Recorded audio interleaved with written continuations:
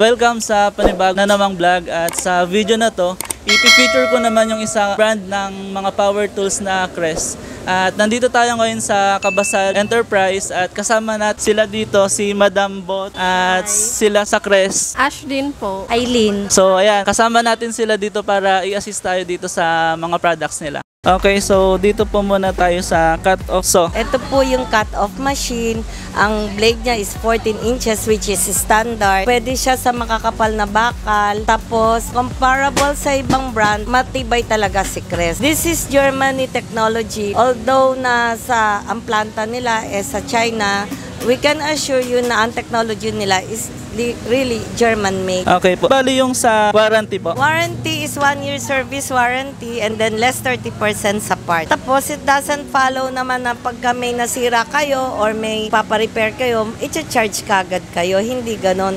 Meron kaming service center na mag mag-check niyan tapos sila mag-check ng nasira ninyong parts and then bibigyan nila tayo ng less 30%. Okay po. Sa bali sa price po nitong cut off saw. This is 9,000 and then meron pa tayong ah, retail discount saka may wholesale discount tayo.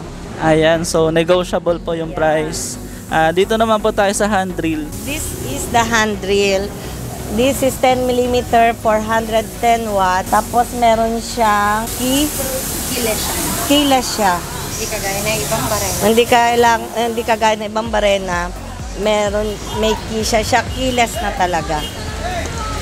Okay po, yung price po nitong hand drill. Ah, 2.5. Okay, 2.5. Negotiable naman lahat. Negotiable naman lahat ng prices nila dito. Okay, so ito po, ito po, isang klase ng hand drill. Ah, itong KU120 natin, 13mm, 650 watts naman siya. Ang price natin dyan is 3,000. Wala siyang hammer. Okay, so next itong ah, circular saw. Ah, itong circular saw na 1,400 watts is 5.3 siya. Tapos ang ang ano niya, ah nat natitilt siya ng 45 degrees.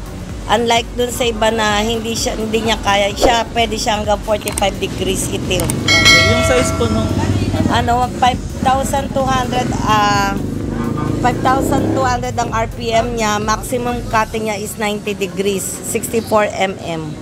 Okay po, ah, next sa impact drill. Ito yung barena na tinatawag nila na may hammer. Ah, 650 watts and 13mm. Price natin sa kanya, KU 310, it's 3,000, 13 mm, tapos 4,800 RPM, and then ang drilling concrete niya 13 mm.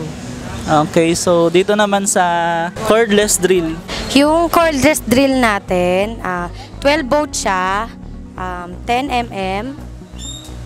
Ah, sa packaging niya, may kasama na siyang battery, tsaka charger.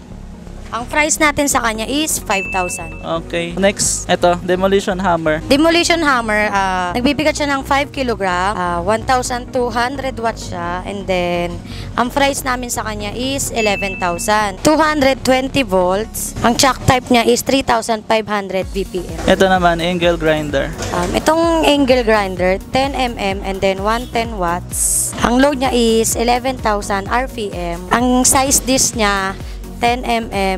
Meron na siyang on and off switch. Um, kung pang industrial, ito ang gamitin kasi pang heavy duty na siya. At ang price natin sa kanya is 3,400. Ano to may kasama ng disc? Hindi kasama sa packaging niya ang disk. Ah, okay. Okay, so yan yung mga presyo ng power tools nila na Crest dito sa Kabasal Enterprise. At ah, madam, baka gusto nyo po silang invite yung mga viewer pa natin. Yes, ah, available po ang Crest Power Tools dito sa Kabasal Enterprise located at 613 Evangelista Street, Quiapo, Manila. May branch kami sa 649 Evangelista Street, Quiapo, Manila. At sa Soler, malapit po sa barangay. Makikita niyo po Kabasal Enterprise. Pas, punta lang po kayo sa amin at bibigyan namin kayo ng magandang discount. Ayan, thank you po. And ayan. I can assure you na yung Crest brand namin ay matibay and 100% sure na matutuwa kayo. Ayun, sana ano, pagkatiwalaan niyo yung bagong product namin. Maganda at Germany brand. Salamat. Ayan, thank you po for watching this video.